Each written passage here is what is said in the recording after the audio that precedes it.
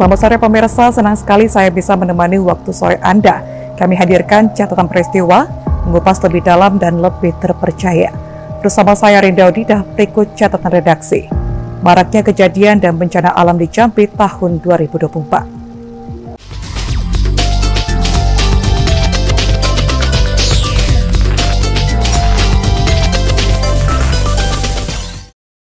Kota Jambi diprediksi tahun ini Kota Jambi mengalami siklus banjir 20 tahunan, di mana sekitar 20 tahun lalu banjir di Kota Jambi hingga mengenangi Simpang Bata. Kepala Dinas Pemadam Kebakaran dan Penyelamatan Kota Jambi memprediksi tahun ini Kota Jambi mengalami siklus banjir 20 tahunan. Di mana sekitar 20 tahun yang lalu, banjir di Kota Jambi menggenangi Simpang Bata sebagai pusat perekonomian Kota Jambi. Mustari mengatakan berdasarkan data yang dihimpun saat ini, kemungkinan besar siklus banjir 20 tahunan terjadi tahun ini. Lebih lanjut ia mengatakan di satu sisi beberapa kabupaten yang berada di bagian barat Provinsi Jambi atau bagian hulu Sungai Batanghari telah terjadi banjir. Biasanya air dari Kerinci akan turun ke Merangin, Sarulangun dan masuk ke kota Jambi melalui Sungai Batanghari yang memang kita dapat ya untuk kota Jambi tapi menjadi satu provinsi Jambi siklus banjir besar itu akan terjadi sekitar 20 tahun. Memang tahun 2020, 2003 memang pernah kejadian banjir besar di kota Jambi yang memang debit air yang memang tidak dapat menampung lagi di Sungai Batanghari dan saat ini seperti kita ketahui eh, Danau Kerinci itu belum pernah kejadian itu banjir besar. Nah sekarang perumahan di dalam di, di Kerinci sudah banjir sungai penuh. Sampai sekarang ini sudah turun ke Merangin. Merangin juga sudah kejadian banjir Surolangun dan Tebo dan pintu air di Damas Raya itu sudah dibuka. Yang akan juga mengalir ke kota Jambi. Pintu air dana di Damas Raya itu adalah aliran dari uh, danau di atas danau di bawah. Di Sumatera Barat. Nah kita antisipasi ini memang luapan air ini akan semakin meningkat karena kondisi air laut itu kondisi pasang. Jadi untuk masih bertahan buangan air dari Sumatera prediksi masuk ke Jambi uh, informasi dari BMKG ini untuk Januari Februari ini memang kondisi curah hujan semakin tinggi. Tapi misalnya nanti itu sekitar bulan Maret memang kita antisipasi siaga satu ini adalah melakukan pendataan mitigasi terhadap wilayah yang di Sungai Batanghari. Sementara itu, berdasarkan data BMKG yang dihimpun Mustari, saat ini kondisi air laut dalam kondisi pasang sementara luapan air dari bagian barat Provinsi Jambi semakin meningkat. Mustari memprediksi luapan air yang akan masuk ke kota Jambi sekitar lima hari ke depan. Akibat tingginya intensitas hujan, hampir seluruh wilayah di Provinsi Jambi terendam banjir.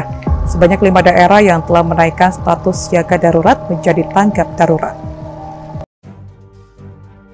Hampir seluruh wilayah di Provinsi Jambi terendam banjir akibat tingginya intensitas hujan. Hal tersebut membuat pemerintah Provinsi Jambi menaikkan status siaga darurat menjadi tanggap darurat. Sekretaris Daerah Provinsi Jambi Sudirman mengatakan, telah lima kabupaten kota yang menaikkan status tanggap darurat menjadi siaga darurat. Di antaranya Kabupaten Kerinci, Kota Sungai Penuh, Kabupaten Batanghari, Kabupaten Pugo, dan Kabupaten Tebo. Lima daerah yang terdampak tersebut terdapat ratusan rumah yang terendam banjir. Sudirman juga meminta kepada kabupaten kota lainnya untuk segera menaikkan status tanggap darurat jika kondisi tidak memungkinkan.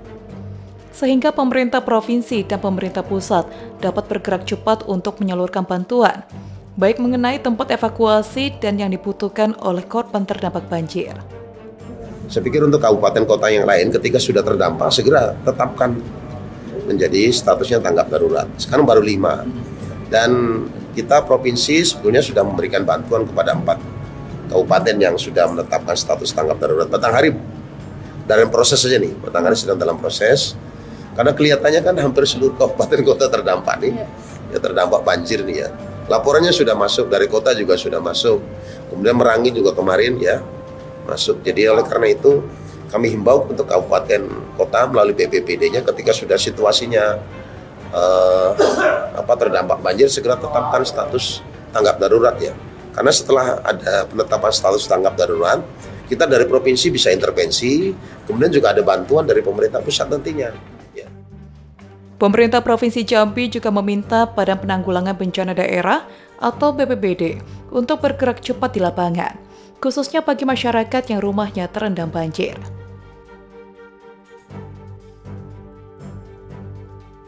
Kecelakaan yang terjadi di Jalan Patimura 2, RT 18, Kelurahan Kenali Besar, Kecamatan Alampara, Kota Jambi, mengakibatkan satu unit kendaraan mobil Innova Reborn berwarna hitam menabrak tiang listrik pada Senin sore tanggal 15 Januari 2024.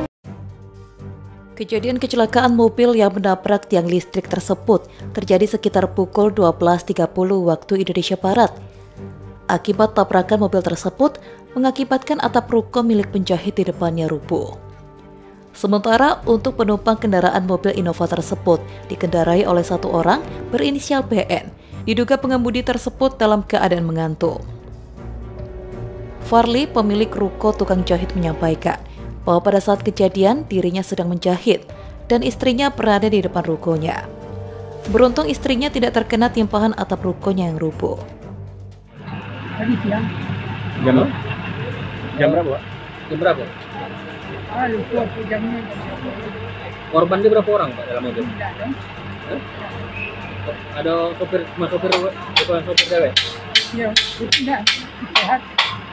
Itu Sopir, Pak. ya? Ah, cuma sopir di dalam mobil itu? Sopirnya lupa-lupa ada, Pak? tidak. Sopirnya dilarikan ke mana, Pak? Katanya? Dibawa ke ini. Periksa di Rumah sakit. Rumah sakit? kesehatan ini. Rumah sakit. Ya, dibawa rumah sakit, Pak. ya?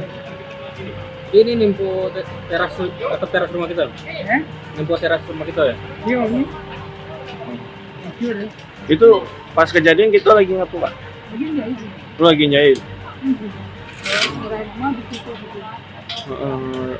Ada korban di kira timpo ini ya? Tidak ada? Tidak. Nggak ada. Itu motor itu nggak keluar kalau keluaran sih. Iya. Korbannya luka-luka parah ada, Pak? Tidak. Tidak luka cuma shock, Pak ya? Jauh. Ya, Dia cepat keluar dari keluar dari. keluar deh, Pak. Itu pas kejadian tadi kita perasaan kita gimana pak? Terkejut pak? Kenapa kaget lah? Kaget? Suaranya keras pak. Ya, itu. Berdasarkan keterangan masyarakat di lokasi, pelaku yang berjenis kelamin laki-laki berinisial PN berumur kurang lebih 60 tahun yang merupakan pegawai negeri sipil.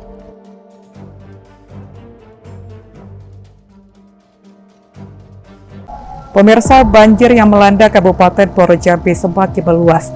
Ada 39 desa yang kini terendam banjir dengan ketinggian air yang bervariasi. PJ Bupati Bahyuni Deliansyah meminta agar Kades segera laporkan rumah warga yang terendam banjir, sehingga sembako segera disalurkan dari pemerintah untuk warga. Bencana banjir di Kabupaten Muaro Jambi terus meluas. Sebelumnya banjir merendami 20 desa yang tersebar di tiga kecamatan pada 9 Januari lalu. Namun kini banjir telah meluas hingga 39 desa di enam kecamatan, yakni Kecamatan Sekernan, Jambi Luar Kota, Taman Rajo masing-masing terdapat 7 desa. Kemudian Kecamatan Kumpe Ulu 9 desa, Kumpe Ilir 8 desa, dan Kecamatan Marosepo ada satu desa yang tergenang air. Banjir terjadi akibat meluapnya air sungai Batanghari dengan ketinggian air bervariasi 30 cm hingga 1,20 cm di permukiman rumah warga. Disampaikan oleh penjabat Bupati Muaro Jambi Bahyuni Deliansyah, berdasarkan catatan Badan Penanggulangan Bencana Daerah setempat, sedikitnya ada 385 rumah yang terendam dan ada 1.920 kepala keluarga yang terdampak.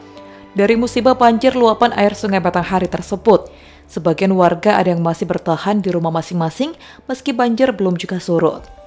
Pemerintah setempat telah memberikan bantuan sembako kepada desa yang melapor kejadian banjir. Kami mendapat laporan bahwa Kabupaten Muaro Jambi ini sudah hampir 39 desa yang terendam akibat luapan sungai Batanghari. Sudah satu meter. Di sini satu meter, rata-rata satu meter. Tapi saya sudah mengingatkan kepada Bapak Kepala Desa untuk menyiapkan tempat evakuasi. Laporan dari Kepala Desa, tempat evakuasi sudah disiapkan, cuma masyarakatnya yang memang kebiasaannya belum mau untuk pindah ke tempat evakuasi. Penipuan bermodus jual beli akun marketplace dengan modus penipuan segitiga beredar di media sosial. Korban bernama Denny mengalami penipuan dengan mentransfer sejumlah uang ke rekening penipu untuk membeli kendaraan mobil. Bermula dari korban bernama Denny, melihat postingan di akun media sosial Facebook yang menjual mobil jenis kendaraan Ayla berwarna hitam Postingan tersebut diposting oleh pelaku berinisial SP dengan menjual mobil tersebut dengan harga 70 juta rupiah. Setelah melakukan pengecekan oleh korban ke rumah pemilik kendaraan mobil bernama Hafiz, kemudian korban mengirimkan sejumlah uang sebesar 30 juta rupiah ke rekening yang diarahkan oleh pelaku.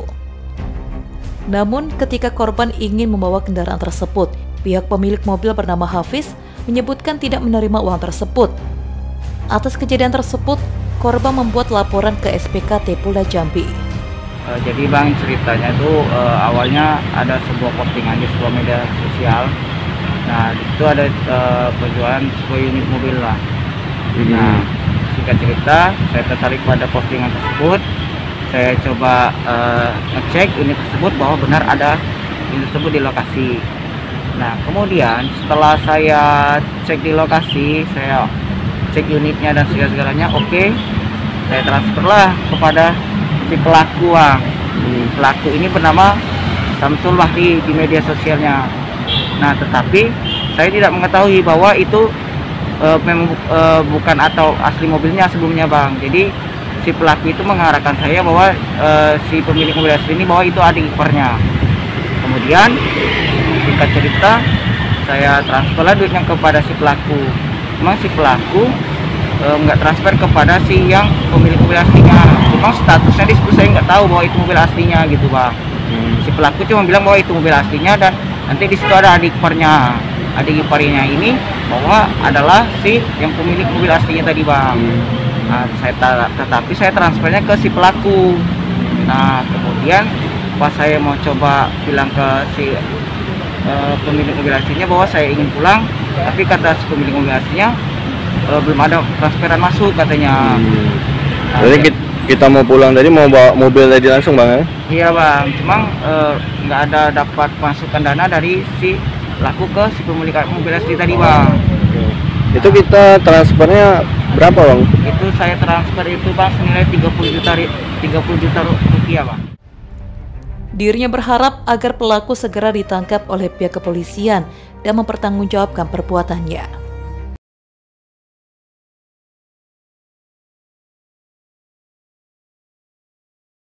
Pemirsa dua orang pelaku kurir narkoba jaringan lembaga pemasyarakatan kelas 2B Tebo berhasil ditangkap Satuan Reserse Narkoba Polres Tebo. Selain pelaku, polisi juga berhasil mengamankan barang bukti berupa paket kecil sebanyak 73 dengan total berat seberat 165,27 gram. Dan informasi ini menutup perjumpaan kita kali ini. Mewakili tim redaksi yang bertugas, saya undur diri dan sampai berjumpa lagi. Awal tahun 2024, Satuan Reserse Narkoba Polres Tebo berhasil menangkap dua orang pelaku kurir narkoba jaringan antar lembaga pemasyarakatan Kabupaten Tebo. Kedua pelaku ditangkap di Desa Kemantan, Kecamatan Tebo Ilir, Kabupaten Tebo. Kedua pelaku di antaranya SR, umur 39 tahun, RFH, umur 35 tahun. Kedua pelaku merupakan warga Kecamatan Tebo Ilir. Selama menangkap para pelaku, polisi juga berhasil mengamankan barang bukti berupa satu paket besar, dua paket sedang, 73 paket kecil yang siap diedarkan di wilayah Kecamatan Tepo Ilir. Selain barang haram, barang bukti lain seperti uang dan handphone berhasil disita kepolisian. Saat dilakukan interogasi, barang haram yang siap edar tersebut didapatkan dari Kabupaten Sarolangun. Selain itu, barang haram yang didapatkan langsung dikendalikan oleh seorang warga binaan Lembaga Pemasyarakatan Kelas 2B Tebo. Mendapat informasi dari pelaku, polisi langsung melakukan penggeledahan terhadap warga binaan dan ditemukan barang bukti berupa handphone. Kita timbang 165,27 gram. Jadi berdasarkan barang bukti ini dan kuat bahwa mereka adalah jaringan pengedar. Setelah kita dalami, ternyata peredaran ini dikendalikan oleh napi di lapas. Hasil koordinasi kita dengan Kalapas, nah ini kita berhasil mengamankan juga napi tersebut. Saat ini masih ada di lapas, namun barang bukti padanya pada napi tersebut sudah kita sita. Dan juga kita akan laksanakan pemberkasan Tetangga. Oh tetangga. Dijanjikan berapa tuh sama dia? 25 25 apa? Juta. Kalau inilah habis. Ini sudah berapa habis? Berapa duitnya? Belum ada dikirim Pak. Jadi kamu nyetor duitnya ke dalam gimana? Atau ada orang lagi? Itu kan urusan saya, itu kan nggak tahu cuma ngantar-ngantar aja. Oh suruh ngantar. Berarti duitnya sudah di store dengan dia ya? Bukan dari pembeli. Kapolres Tebo AKBP Iwayan Arta Aryawan mengatakan Polres Tebo akan terus melakukan upaya-upaya guna mencegah peredaran narkoba di Kabupaten Tebo agar wilayah Tebo tetap aman dari peredaran narkoba. Bahkan dirinya juga mengajak masyarakat untuk bersama-sama mendukung upaya kepolisian dalam memberantas peredaran narkoba.